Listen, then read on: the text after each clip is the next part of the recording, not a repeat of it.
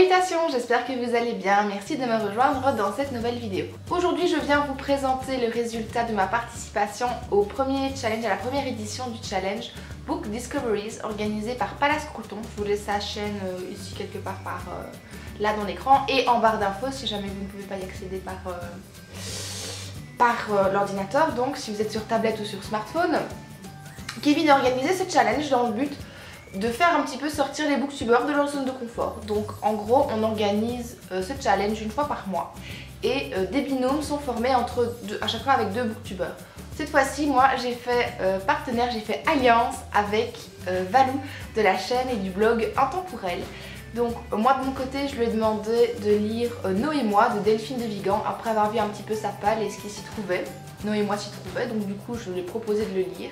Et moi de mon côté euh, elle pardon, de son côté, elle m'a proposé de lire La véritable histoire de Noël, euh, écrit euh, par Marco Leno.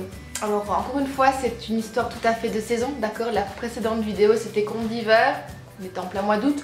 Cette fois-ci on continue sur ma lancée, je continue sur ma lancée avec La véritable histoire de Noël.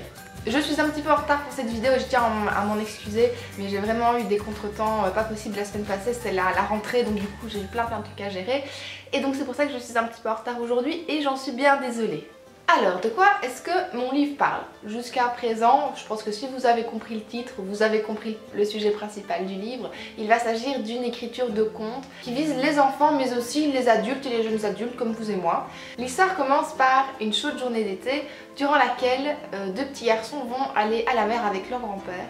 Et durant leur, euh, euh, leur promenade, leur nage dans la mer, ils vont tomber sur un coffret que les petits garçons vont ramener à leur papy et le papy va se remémorer une certaine légende, effectivement la légende de Noël, sur base de ce petit coffret. Et à partir de cet objet qui leur semble bien mystérieux puisqu'ils n'arrivent pas à l'ouvrir, ils vont commencer euh, toute l'histoire, ils vont revivre l'histoire telle que le grand-père euh, l'a retenue, telle qu'on la lui a racontée. Donc il s'agit d'une histoire dans l'histoire, si vous suivez bien, d'accord? Et euh, je trouve le procédé déjà premièrement assez intéressant puisqu'on commence l'histoire par des personnages extérieurs, on se demande un petit peu où ça va amener. Et puis seulement après on rentre dans le conte et je trouve que c'est assez, euh, assez intéressant d'avoir ce point de vue là surtout qu'à la fin de l'histoire on, on, récupère le grand-père et ses deux petits-fils. Donc euh, la boucle est bouclée et c'est vraiment parfait tel que c'est écrit comme ça. Pour l'histoire du conte de Noël, qui va-t-on suivre? On va donc suivre l'histoire du petit Nicolas qui vit euh, un petit peu éloigné du village avec ses parents et sa petite sœur sur une île à part. Le petit problème c'est qu'à un moment donné, durant l'hiver, euh, la petite sœur va tomber malade et donc les parents vont lui confier la maison, lui confier la tâche très difficile d'arriver à maintenir le feu, euh, en, perpétuel chauffe, d'accord, pour qu'il y ait tout le temps du feu et que la maison ne se refroidisse pas. Et sur ce temps-là, ils vont conduire la petite sœur sur le continent pour pouvoir la faire soigner. le problème étant que euh, le petit garçon arrive à tenir sa tâche, mais les parents, eux, ne reviennent pas. Et donc, euh, Nicolas va être amené sur le continent, dans le village euh, dont il était question dès le départ, et les adultes se demandent bah, qu'est-ce qu'ils vont faire de ce gamin? Est-ce qu'ils vont réussir à le garder? Est-ce qu'à un moment donné, est-ce que c'est vraiment leur tâche de le garder? Est-ce que c'est leur responsabilité de le faire? Et donc il va se passer, on va suivre le petit Nicolas dans toute son histoire. Est-ce qu'il va rester sur le continent ou est-ce qu'il va être expédié ailleurs? On n'en sait pas plus au début de l'histoire. Concernant la plume de l'auteur, j'ai trouvé que c'était très très accessible. Si vous avez envie de le lire avec votre enfant, c'est tout à fait euh, réalisable. Je trouve que le vocabulaire est simple, les phrases sont courtes, c'est fluide, ça se lit très vite, il n'y a pas euh, d'accroche au niveau du vocabulaire. C'est assez, euh, facile à lire franchement. Et du côté des personnages, pour ma part, j'étais euh, assez contente de découvrir Nicolas. Je trouve que c'était un, beau personnage qui est mis en avant. Et de manière générale, les valeurs qui sont transmises dans ce conte sont assez positives. C'est une jolie histoire qui se déroule sous nos yeux quand on découvre le bouquin.